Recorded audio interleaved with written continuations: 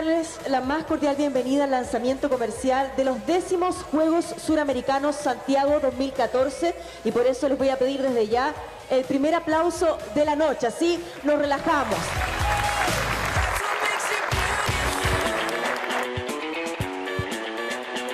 Cristian Valenzuela, ganador de medalla de oro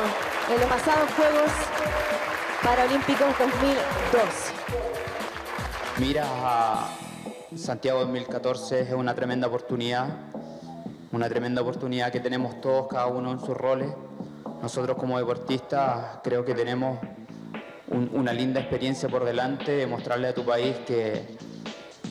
que somos deportistas de gran nivel, que siempre lo hemos sido y trabajamos siempre duro para darle a nuestro país lo mejor de nosotros.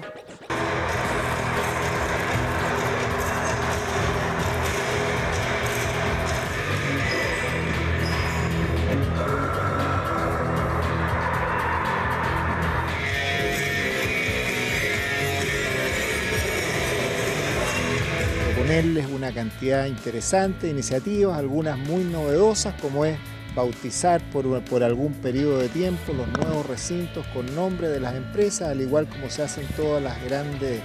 eh, competencias del mundo, y así conseguir que eh, poder disponer de recursos que nos permitan que estos juegos realmente no solamente sean una buena ocasión de desarrollo deportivo, sino también muestren la capacidad de nuestro país de organizar grandes eventos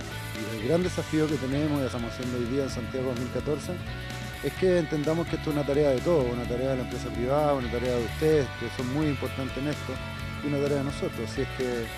invitar a la empresa privada y lograr interesarla en un evento como este y en el deporte en general, me parece que sería el más grande de los logros que podemos tener. Mira, acá cuando uno empieza a organizar estos juegos, conoce varias experiencias de otros países que han hecho esto mismo. Son experiencias que conocimos en los Panamericanos de Guadalajara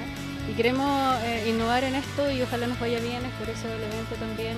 y, considerar todo lo que hay de por medio asociado a, las marcas y a las empresas que puedan asociarse con nosotros.